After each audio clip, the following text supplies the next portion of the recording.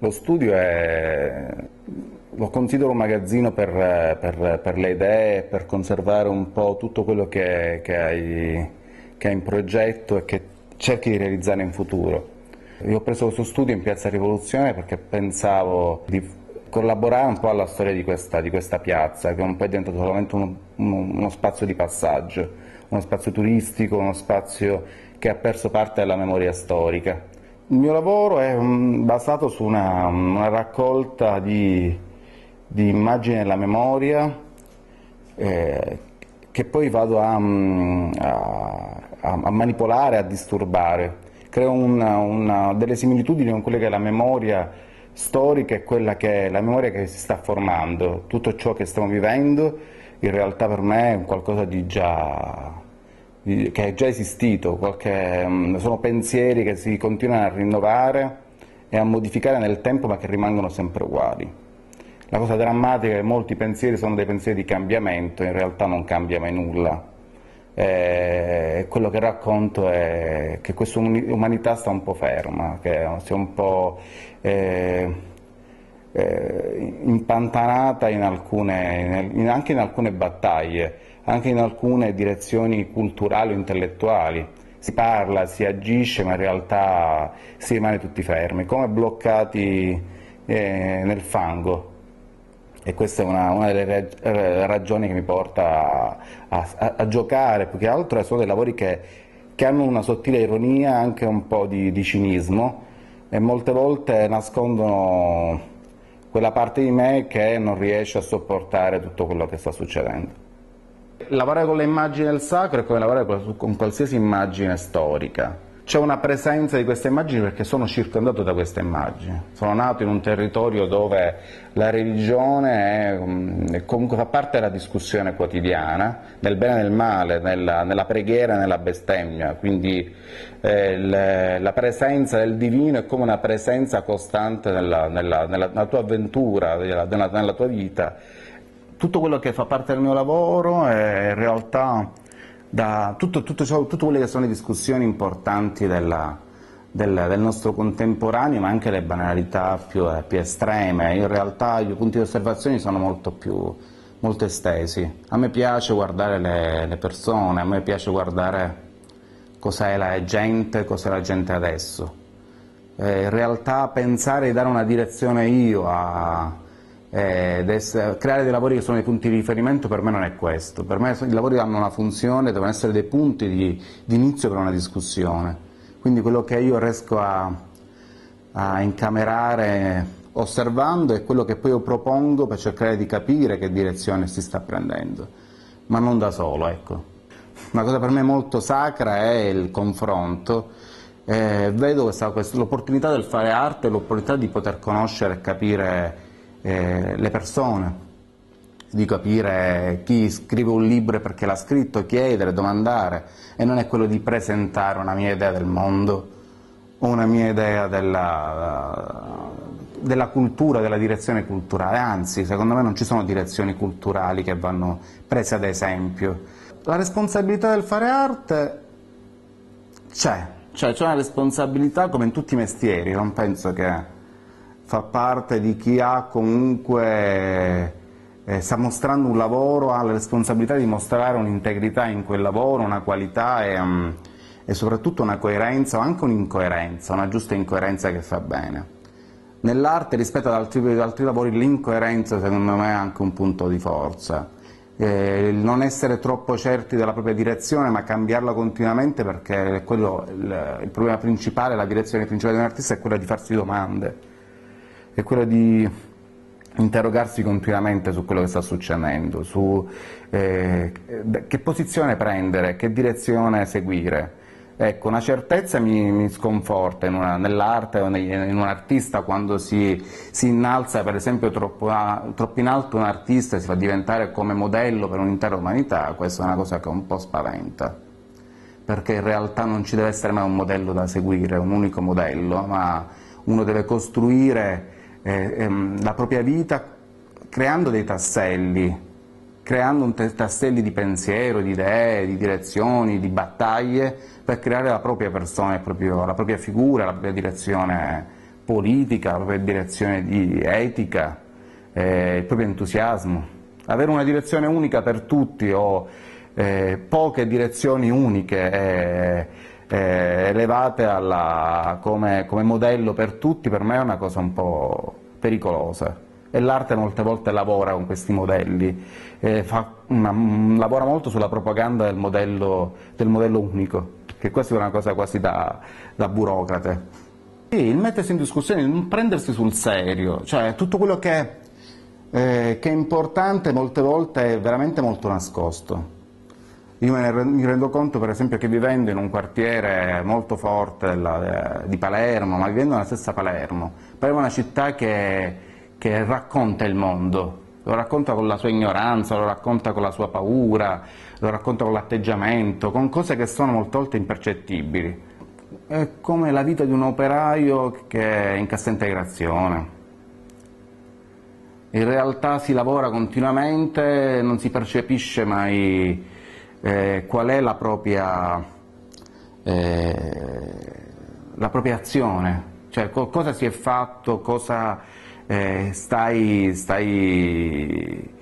dando agli altri o quello che sta uscendo da dal tuo mondo e va verso la direzione esterna, non sai mai se è stato recepito e se eh, ti tornerà indietro qualcosa ma lo fai lo stesso, lavori lo stesso. Mm, quasi una missione, ecco, ecco la missione religiosa diventa. Eh, ed ecco che puoi anche abbandonarlo un giorno. Sono pienamente convinto che quando non si ha più niente da dire, per esempio, è, una, è un qualcosa che va abbandonato. Come un fine, un fine percorso, io penso che molti artisti, per esempio storici, debbono finire una volta che hanno concluso le cose da dire eh, e passare ad altro. Cioè è un momento della vita che secondo me bisogna intraprendere se si ha la voglia, soprattutto se ne ha, se ne ha bisogno, eh, ma durerà pochissimo, non può durare tutta una vita. Questo ne ho una piena consapevolezza. Ecco perché molte volte mi entusiasmo per, per altre cose, come il progetto Sacrosanto è un progetto che mi entusiasma perché crede alle relazioni tra persone, perché mi occupo di un luogo, anche della mia città, ma non come artista, ecco ma come persona che apprezza una cosa e sa chi chiamare, il piacere è lavorare con persone che rispondono subito quando si, si parla di un argomento che può essere il, il, fare qualcosa per gli altri, per prendersi cura di qualcosa o di qualcuno. Ecco, io ho chiamato questi artisti e hanno risposto subito, questa è la cosa che mi ha più uh, messo, secondo me, alla posizione di continuare nella dire- con Sacrosantum ho avuto un entusiasmo e questo entusiasmo mi ha portato ad andare avanti. Eh, purtroppo non è, un, non, è, ecco, non è, un, progetto che, che, ha la direzione di, e che può proseguire in futuro perché anche, tira anche molta energia, quindi io so che un, ho fatto questo ora spero che gli altri facciano altri progetti simili o di altra forma, ma che, va, che vadano sulla direzione di, di, di occuparsi di qualcosa o di qualcuno e non pensare solo alla presentazione delle proprie idee, della propria forma. Mi nutro per, per, per, per fare ciò che faccio, mi nutro di, di tutto, di tutto ciò che, che, vedo per strada, vivo molto la strada, il Palermo per esempio, anche quando stavo a Parigi vedo molto Parigi per la strada, eh, leggo quello che mi piace leggere, eh, non prendo delle direzioni legate a quello che c'è da leggere e quello che c'è da studiare nella propria vita, io penso che tutto va ricercato. Cioè faccio quello che, che mi piace, quello che mi va. Eh, spero continu di continuare a farlo. La mia paura molte volte è di rimanere ingabbiato in, in paure della mente, a cercare di recuperare, cercando di mettermi in riga eh, prendendo delle direzioni e delle scelte per nutrirmi di qualcosa che forse mi può dare di più, ma in realtà tutto deve essere molto naturale. Quindi quello che cerco di fare io è essere sempre molto naturale e trovare delle cose che riescano a caricarmi, ho bisogno di energia, quindi questa è la mia idea di famiglia, che prende una coscienza sociale, quindi eh, ecco la, la costruzione della società, della microsocietà, che è la famiglia,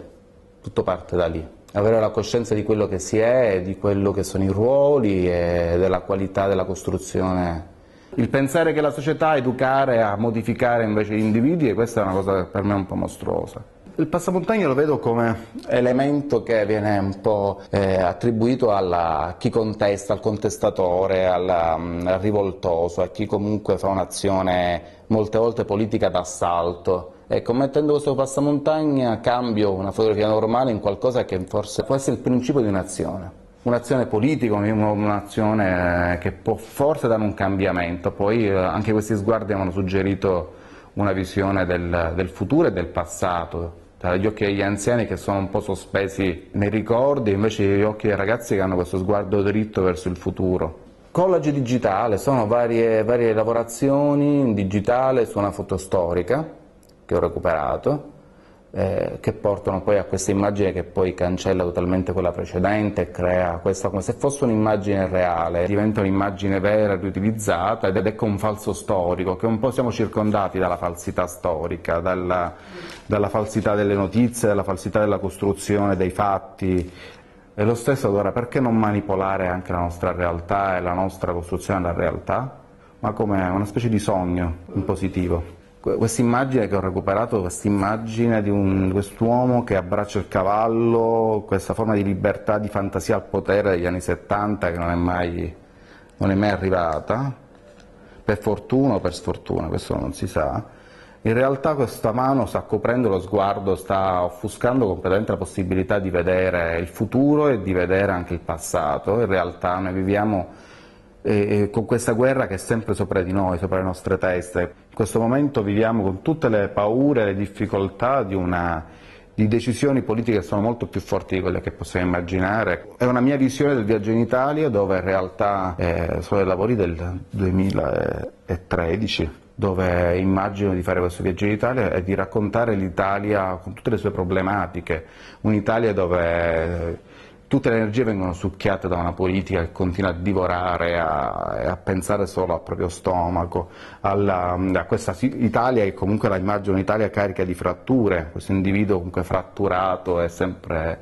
eh, cagionevole. In realtà queste fratture vengono poi eh, medicate alla buona con questi giornali che portano poi le notizie del, di tutte le, le, turbe che sta provando il nostro, il nostro paese, qua la Sicilia che chiede chiede aiuto all'Europa per gli sbarchi. Eh, ed è un lavoro vecchissimo, stiamo parlando che ancora non, non si sentiva tutta questa energia, era semplicemente una, una, visione che poi adesso è scaturita in questa fobia, in questa tensione politica, in questa direzione di nuova, di nuova politica europea per esempio. E questa è la visione del, dell'Italia oggi, questa, tutte le generazioni sacrificate, compreso la mia.